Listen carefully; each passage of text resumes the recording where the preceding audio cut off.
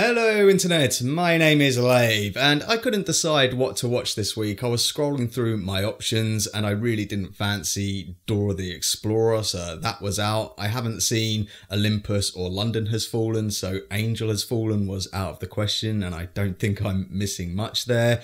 Crawl was a possibility, but a lot of the big boys have already reviewed that. And then I found my salvation. I noticed that Pedro Almodovar's latest film was out, so I watched Pain and Glory which stars Antonio Banderas as Salvador Mallo, a film director with some hits in the 80s but who hasn't made a film in a while, who is now pondering retirement due to his ill health, both mental and physical. But when a film festival restores one of his films, it sets him on a path to confront moments and choices in his life, past and present. So it's interesting that we've got two veteran directors who are both clearly passionate about their craft and the art of filmmaking, releasing movies which are love letters to their past, one being Quentin Tarantino with Once Upon a Time in Hollywood, and now Almodovar with this, which is a much more introspective, personal and intimate story when compared with Once Upon a Time in Hollywood, this one being a semi autobiography. It's pretty clear that our main character, played by Antonio Banderas, who is great by the way, has been modelled on the director himself,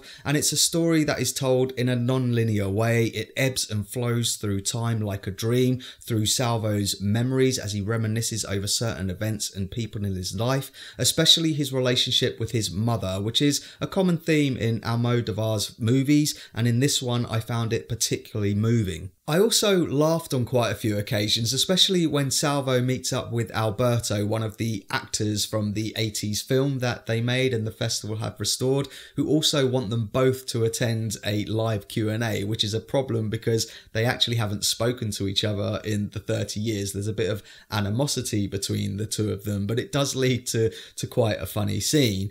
As a result of that, Alberto discovers that Salvo is still writing in some capacity. He's doing this kind of memoir, which he actually calls his confessional. And Alberto wants to adapt that into a theatre production, but Salvo doesn't want him to because, as he says, it's his confessional and it's very personal. But then he eventually does let him, and as a result of that, it coincidentally brings someone else back into Salvo's life, which I, I don't want to spoil.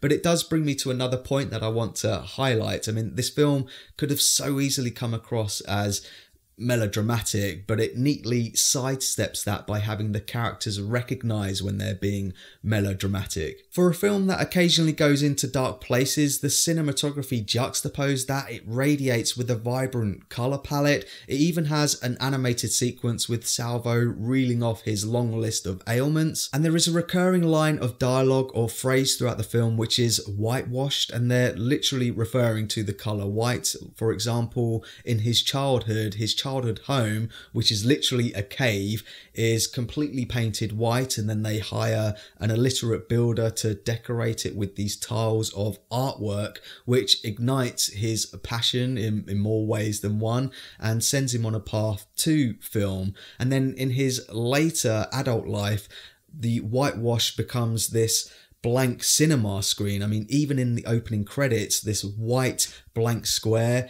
is surrounded by art. And i think this represents the character of salvo. He's he's a blank canvas now and he's looking for inspiration. Even though he's surrounded by art he's he's lost his motivation. So that's my thoughts on pain and glory and pause the video if you want to take a closer look at my enjoyment tracker now. I thought this was a lovely film that so easily could have come across as pretentious but it doesn't at all. It's straight from the heart. It does meander a bit i think deliberately so it kind of adds to that dreamlike quality and the way it ends it's got this almost meta type reveal to it i thought it was just perfecto. But let me know what your thoughts are if you've seen it and let me know what your favourite Almodovar film is. For me, I think it's The Skin I Live In. I mean, I saw this a couple of years ago and I'm still trying to process it.